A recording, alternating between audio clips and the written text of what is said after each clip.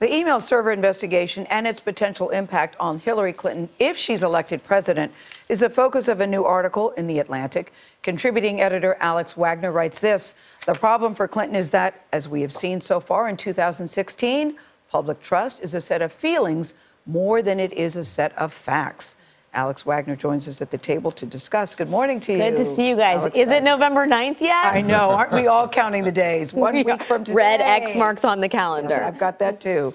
So the feelings, Alex, after all this time, are still very, very strong Yeah. against Hillary Clinton. They are. And and you know, trust has always been a feeling, right? Yes. It's just that in this day and age, when we have such a fracturing of the, the news and information and media landscape, it's almost impossible for a candidate or a leader to find some sort of universal platform on which they can regain or gain public trust. Where does it come from?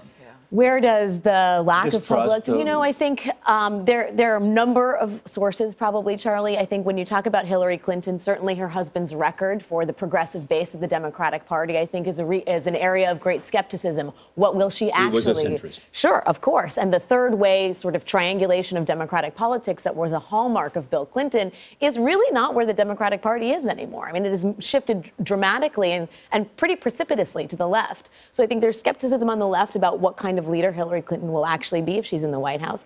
And then I think that there's just an accretion of years of mistrust on the on the right and in to some degree in the center about the various scandals that have plagued the Clintons in their time in public life. Are you hearing whisperings even in even in her own party?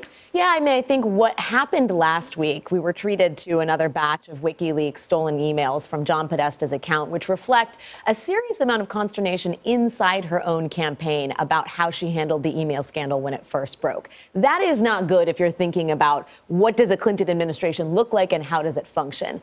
But you also heard some, I'm not going to say saber rattling, but discontent from the progressive base about who she's actually going to appoint in key positions in the Treasury Department, what she really going to do on TPP.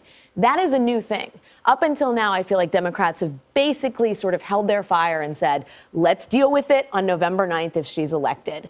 Now you are starting to beginning, you're beginning to see the sort of green shoots of maybe some dissension within the party. But does this disclosure by the FBI director almost guarantee that if Hillary Clinton were to be elected, that her administration, even its beginning days, would be plagued by investigations? Nora, if we are still saying the words Vince Foster, if we are still saying the words Whitewater, if we are still talking about Kenneth Starr, who's in the New York Times today, this scandal is very uh, controversy, whatever you call it, is going to almost certainly plague the beginning days. I mean, you wrote, you Meaning wrote a, Whitewater, which was a, during the before the election, continued after the election. decades ago, right? I mean, this, even if it is not a matter of actual investigation, the public interest in this, and I would say the cer- certain folks on the right wing, their interest in stoking this as a continuing story i- is is not is certainly Alex, to not just do. the fact that this close to the election, we're even talking about Anthony Weiner and Hillary Clinton in the same campaign. It's it's one of those things when you first heard it, you went, "What?" I literally, I mean, it was a sort of mic drop moment, but not in a good way, Gail. Yes, I could not, I mean, I will give you this election of 2016, you are not boring.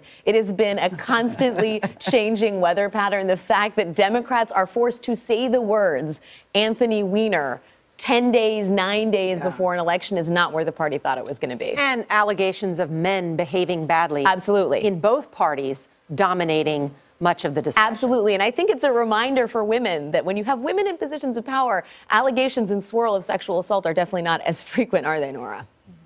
There you go. It's true. no, they are Thank not. you. They are not. no, they are not. Charlie's To like, answer that I am not. I don't have a seat. No, I will. Where will you be on election night? I, I will be watching the return. right here on CBS. Thank you, Of course. Thank you, guys. uh, her, her article in the Atlantic magazine.